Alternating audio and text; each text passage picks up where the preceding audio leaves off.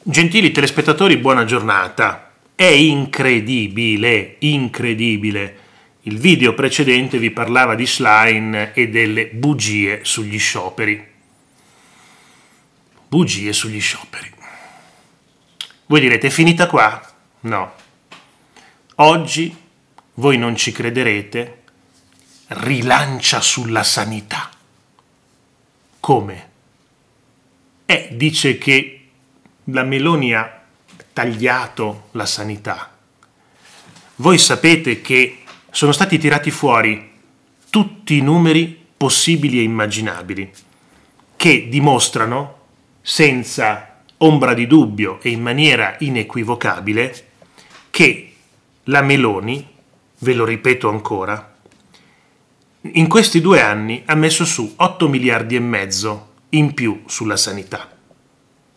Attenzione, togliamo l'inflazione, scorporiamo l'inflazione. Sapete che l'inflazione fa perdere valore ai soldi. Togliendo tutta l'inflazione di questi due anni, a, quegli, a, quegli, a quei 8 miliardi e mezzo in più che ha messo la Meloni, scorporiamo l'inflazione sul totale, risulta che la Meloni ha messo solo 175 milioni in più sulla sanità.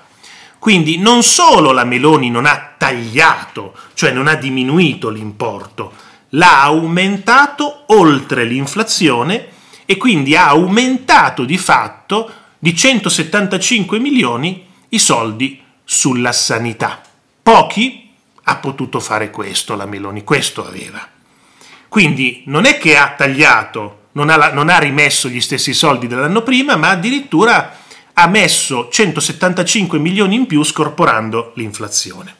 Quindi è ormai assodato, ovvio, chiaro, chiarissimo dai dati che la Meloni non ha tagliato la sanità.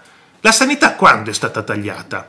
Nei dieci anni che ha governato la sinistra, in due o tre governi c'è stato proprio il taglio della sanità, sono stati messi meno soldi dell'anno precedente, quindi la sinistra è stata quella che veramente ha tagliato la sanità, veramente hanno tagliato la sanità.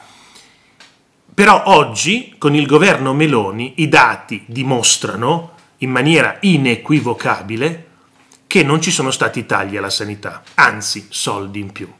La cosa impressionante è che la Schlein è il capo politico del secondo partito italiano e le sue direttrici della politica sono basate su bugie.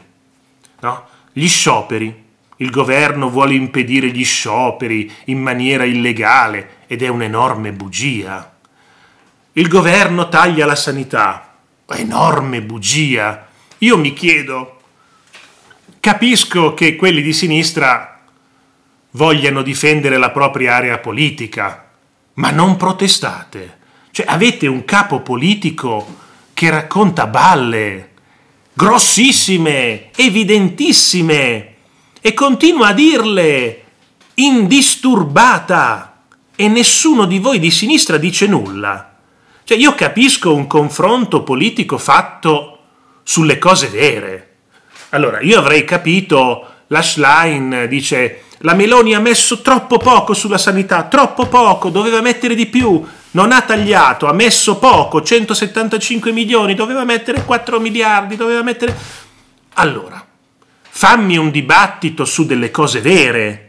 Mi dici la Meloni ha messo troppo poco, secondo noi doveva mettere di più e i soldi li poteva prendere lì. Questo potevi dire. Ma non che ha tagliato. Oppure mi puoi prendere il discorso del salario minimo insistere sul salario minimo, insistere su pochi soldi sulla sanità, ma non le bugie, perché fare un dibattito sulle bugie è grottesco, è ridicolo, non ha senso. Ma quello che mi stupisce più di tutti, più che la Schlein che le racconta, sono quelli che le ascoltano e quelli che votano poi questi partiti. E questa è la cosa incomprensibile, ma forse c'è una spiegazione. L'odio verso Meloni è così forte, così dentro la sinistra, che preferiscono non ascoltare le sciocchezze di Elena perché l'obiettivo è odiare il più possibile la Meloni. Quindi anche Elena che racconta le bugie in fondo va bene perché va contro la Meloni. Va contro la Meloni con le bugie? Fa niente, facciamo finta di credergli alla Schlein con il taglio della sanità e con il governo che va contro, eh, contro gli scioperi, oppure che la manovra, lei e Maurizio Landini raccontano che la manovra economica è contro gli italiani, contro gli italiani. La manovra economica approvata ieri dall'Europa con lode, con lode, approvata dai mercati finanziari in maniera completa, secondo lei e Landini in maniera assolutamente faziosa, la manovra è contro gli italiani. Poi quando gli si chiede che vuol dire contro gli italiani, ci siamo capiti, eh?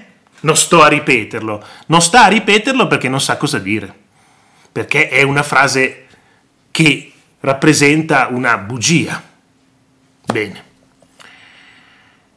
È pesante, è veramente, veramente, veramente, veramente pesante. Veramente pesante. La Schlein dice l'interesse del PD è avere alleati solidi che poi parla dei 5 Stelle, parla di qua, parla di là e poi mobilita il paese sulla sanità. Mobilita il paese sulla sanità.